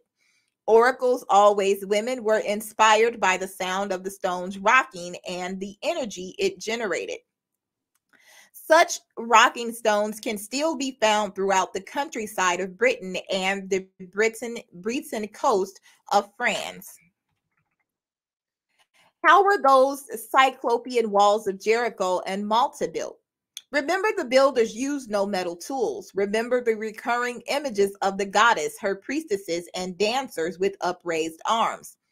Perhaps this was the posture of the cosmic moment when the goddess appeared, the moment of simultaneous time slash non time, when galactic and earth forces fuse and flow together, directed by the human spirit. Women in a dance circle with upraised arms are pictured in Stone Age cave and cliff paintings throughout Europe and Africa, the first homes of humanity. Millennia later, in patriarchal legend, Moses, with supported upraised arms, helped bring victory to the Hebrews. This iconic posture of a power figure with raised arms supported by the people goes back to the first human experiences of the goddess and the concept is always related to the fusion of material and spiritual energies in a changed or magic body. The goddess with upraised arms and parted legs gave birth to the universe and the world. Ancient images also show her as magic musician, blowing sacred pipes or conch shells. In the, Taz- in the Tanzanian cliff paintings found by Mary Leakey, some estimated to be 20, 29,000 years old. All the groups are dancing women, some carrying musical instruments. A tall, wonderful red ochre piper plays with dashed lines falling from the end of her pipe. A singer's open mouth has the same lines falling from it. These lines are song and could also be rain. A South African Bushman painting shows a naked woman in the sky with magic rain making lines coming from her body, and the rain falling on a reclining woman and a man standing with upraised arms. Ancient rainmaking was a woman's activity, or rain was seen to fall from a woman's body or the moon. As the possessor of the secret of life, woman's music, dancing, and utterance had magic and binding significance, helping to release the life forces not into chaos but into harmonious activity. Women in their dances imitated the animals, especially birds and snakes, and resonated with natural energies of earth and weather. In women's art and pottery design, also connections were made between meanders, rhythm, music, and dance, rippling waters, the motions of snakes and water birds. In this way, women originated dance, music, art, and ritual as a magic as a magic linking of physical and symbolic forces. Young women of the Bavenda tribe in South Africa identify with the serpent force. Older female initiators kneel in the center as pivots around which the young dancers spiral in the rhythmic coils and undulations of the python. Collapsing and reviving, they rest around with they rest like the forces of nature in the seasonal round of death and rebirth. Dahomean priestesses in West Coast Africa still perform a very similar Python dance as an energy raiser and communication with departed spirits. These women are invoking more than personal fertility their dances are ritual linkings religare to bind of the individual and tribal energies with the entire musical pulse of the earth and with the dance cycle of cosmic energies. This primordial and continuous linking or symbolic binding always took place within through by means of the female body the health, well being, and experienced ecstasy of a people depended on the health, well being, and experienced ecstasy of this female body, of individual women, of Mother Earth, of the cosmic dancing woman. Sufi dervishes claim that their hand clapping, dancing, whirling, and singing are involuntary expressions of the divine power manifesting itself through their bodies. They say this is a way of life handed down from remotest antiquity. This training in ecstasy was designed to produce the perfect woman or man within this world, not out of it. Sufi dancing is a vehicle for self realization, an experience of the self's joyous union with the larger self of the universe. The dervishes developed their ecstatic rites against the background of a moralistically strict and misogynistic Islam. Were they reconnecting in a patriarchal milieu with ancient matriarchal rites of ecstatic women shamans? Their teaching is based on the concept of essence. She or he who knows her or his essential self knows God. The dervish is called knower, lover, follower, traveler. Dervish itself means poor man or waiting at the doors of enlightenment. Are Sufis the inheritors of some of the rites of the ancient great goddess? They are, even as the Essenes were or originally ecstatic worshippers in the temple of Artemis at Ephesus. The Sufi ceremonial axe is an Amazonian labrys, labrys, a bronze double crescent of the goddess. Direct descendant of the double axes used by the priestesses on matriarchal Crete. In Sufi belief, there is a form of superior mental activity available to human beings, and its power can be manifested on the plane of daily life. But most people cannot open to this mental power because our psychic energies are blocked by rigid, conventional, and dualistic thought habits. This super consciousness includes precognition, telepathy, and bilocation, the ability to exist in two places at once. Sufis encourage poetic thinking and language and specialize in making startling and cryptic utterances. This has given them a reputation as socially unrealistic and even mad. In fact, they are female. They teach techniques to help free the mind from cultural preconceptions and conditioned ideas. And their methods are not linear and verbal, but multisensory, using auditory, tactile, kinetic, sense impacts as well as visual. Sufis believe that their teachings constitute the inner reality of all religions, the core truths and techniques of all human spiritual psychic experience.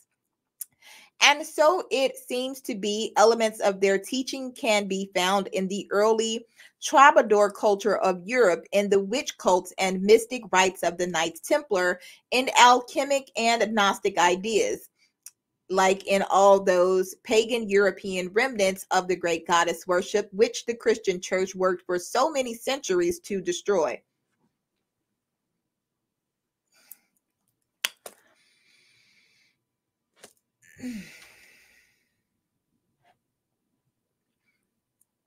Many of the same core techniques are found among Native Americans, Siberian shamanic cultures, Haitian Vodun cults, and what remains of African magic religion, especially among the Dahomey and other West Coast African goddess people.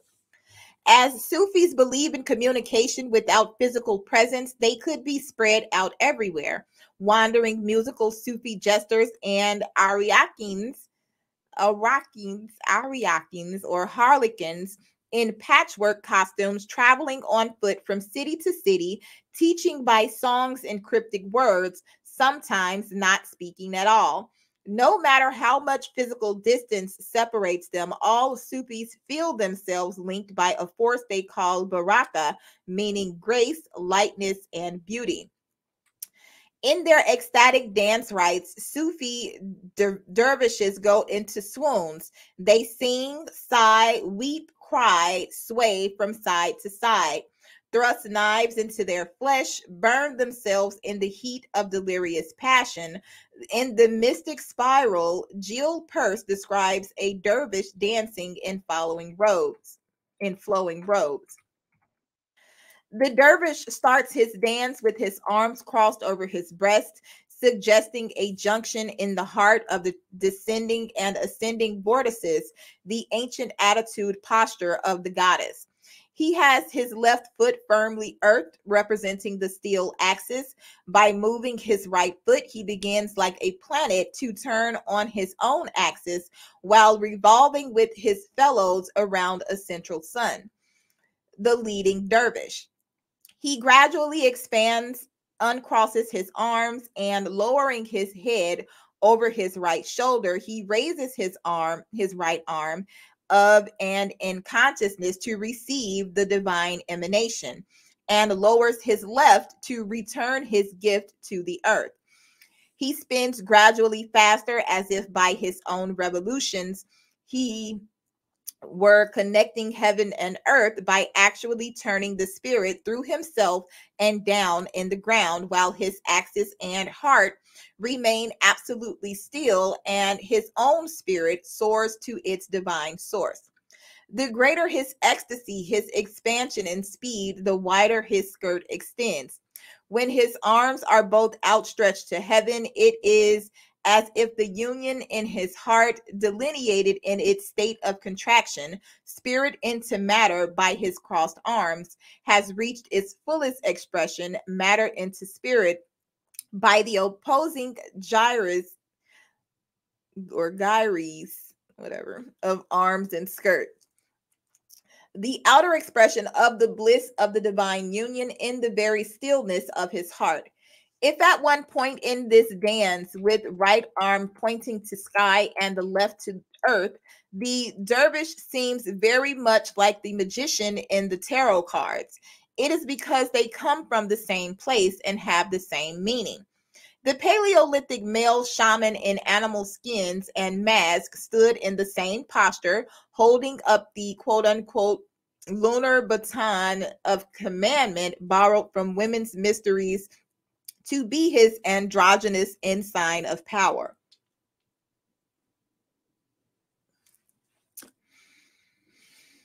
Hmm. The magician's baton, misnamed by a male archaeologist, was a woman's was women's lunar calendar stick, the first time measuring device known, dating from the Ice Age. A male magician or shaman cannot be magic or female without it. Other forms of ecstatic dancing come down to us from the Near East, Thrace, the Mediterranean, preserved in Greek legend. One of these is the ecstatic dance of the Bacchantes, the Bacchantes. Wild women intoxicated by chewing ivy leaves and also the mushroom sacred to Dionysus. The Bacchantes or Thracian Maenads, mad women, were the daughters of the Great Mother, her quote unquote white wild maids, possessing the magical power to make the whole earth blossom. Rites were performed on mountaintops, and at the touch of these wild women's wands, the original lunar calendar stick, streams of wine and water, milk and honey, broke free and flowed from the rocks. In their ivy induced fury at the dark of the moon, they would tear any man in pieces who happened to cross their path or enter their sacred precincts. Dionysus himself, who some would call basely effeminate, was torn apart ritually and eaten as a sacrament. This story could apply to the magic mushroom itself, which was called Dionysus. The cult of Dionysus and the wild women was popular with the common people, especially those in the countryside, the countryside far into Roman times. Central to this cult were the ancient mushroom mysteries, the communal eating of hallucinogenic psilocybin called the body of Dionysus. The spotted scarlet flycap, Amanita muscaria, was referred to as Christ's body by Hebrew and early Christian cultists.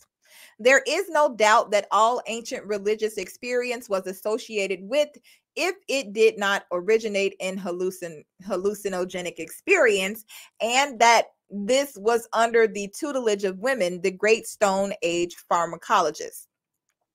Anthropologist Jacquetta Hawkes also believes that the ecstatic mystery religion of Dionysus, the tender faced and curly haired son of the Cretan Great Mother, was originally the cult of the great goddess herself and her wild orgiastic women.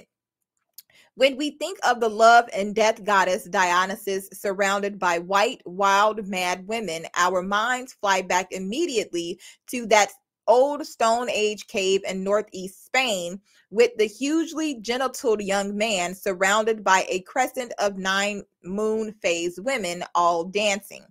This was the young man who became the Neolithic son slash lover of the goddess and eventually Christ.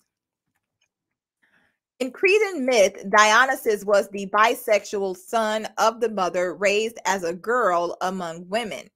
Throughout the Near East and the Aegean, he was known by many names Attis, Adonis, Tammuz, Dumuzi, Osiris. Jesus was called Adonai or Lord after his erotic prototype, Adonis. As a vegetation god, he was ritually sacrificed using, sorry, usually on a tree, prototype of the later crucifix. His flesh was eaten as bread, his blood drunk as wine. Dionysus is the god of the vine, wine, and divine intoxication. This ritual sacrifice in the harvest season was believed to be necessary for the land's fertility. The immortal son's mortal part, his flesh and blood energies, were cut up and sprinkled on the fields. The Christ idea was in no way birth, death, rebirth, ritual cosmology. I'm sorry. The Christ idea was in no way, yeah, original with the Hebrews of Bible times, but inherited by them, along with paradise garden myths, flood myths, and an entire birth, death, rebirth ritual cosmology from the entire Neolithic agricultural great goddess religion of the Near East. They added to all this just one new twist the incorporation of the mother's son into a strictly patriarchal ontology. Photo Women's Music, June 1975. In From Ritual to Romance, English scholar Jessie Weston traced the red thread from these Neolithic mother goddess and son lover sacrifice god mystery cults into early Christian mysticism and all also into pagan European legends of the Grail, the sacred quest, and the healing of the wasteland, which became merged with Christian romance. 20th century poets like T.S. Eliot drew heavily on her discoveries and ideas without giving her much credit, but turned the spirit quest into one of patriarchal Christian despair and resignation rather than a courageous and ecstatic return and reintegration with the goddess.